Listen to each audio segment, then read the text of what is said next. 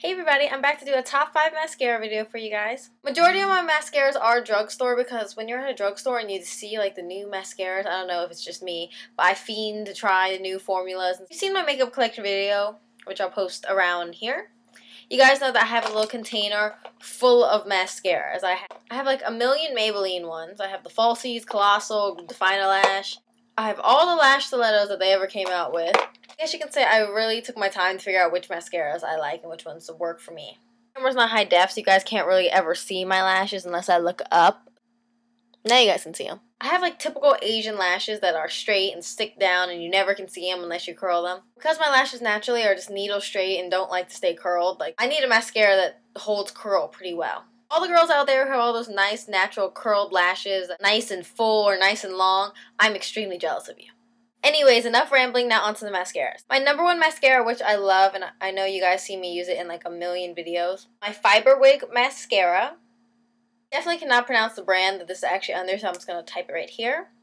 Find Fiberwig at your Sephora. It's about $24 at Sephora, so yeah, it's kind of pricey. I've never actually paid for this at Sephora because I prefer to just buy it online. You can find it cheaper online sometimes. If you just Google the name of this, you'll find some sites. There used to be a site that had this on there for $11, and I used to buy it there instead, but I can't find the site anymore.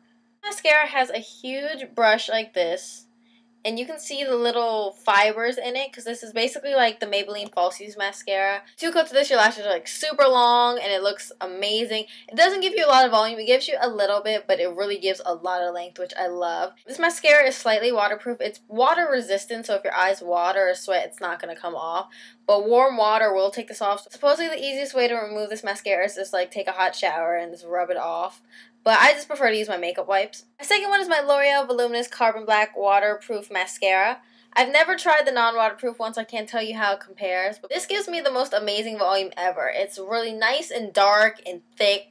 It doesn't give you a lot of length. It probably gives you almost none, but it gives you a lot of volume. Your lashes look really full. I love using this on my lower lash line because it just makes my lashes appear and actually stand out for once. Even though this claims to be waterproof, it really isn't super waterproof. It really smudged a lot on me when I went to the pool one day. My third favorite is my Maybelline Great Lash Waterproof Mascara in Very Black. It really amazes me how many shades this mascara comes in. It comes in like four. It comes like brown, black, black, black, very black, super black, I don't know.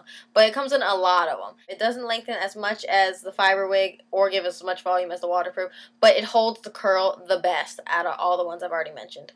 The brush that it has is really, really small. It's one of the smallest I've ever used. Of this helps people who really need to get into the inner corners or their lower lashes, inner corners really well. You can really get into it because it's so small, super precise. For being waterproof, I can say it's slightly waterproof. It's not super duper waterproof for me. Pretty sure if you rubbed it, it would smudge a little bit, but it works a lot better waterproof wise than this mascara. My fourth favorite is by Rimmel, and it's their Max Lash Mascara. It's reflecting right now, so I know you guys can't really see it. It's their only mascara with pink packaging. It's super noticeable. Their brush is really similar to the Fiber Wig brush. It's just a little bit smaller. This claims to give at least 14 times more volume to your lashes. But all mascaras say a bunch of stuff like that, so that doesn't really matter. It does give you a lot of volume. I wouldn't say 14 times as much or anything like that, but it does give a lot of volume. One coat of this, your lashes are definitely more noticeable. And this looks really good on lower lashes too. I've also tried their the Max Bold Curves mascara, and it's supposed to be like the waterproof version of this one. This one does not compare at all to this one. I like this one so much more. I wish this was waterproof and had the same consistency, because this is just not anywhere as good. And my last mascara for my top five favorite mascaras is an oldie but goodie, an old favorite. I loved it so much when I first started YouTube.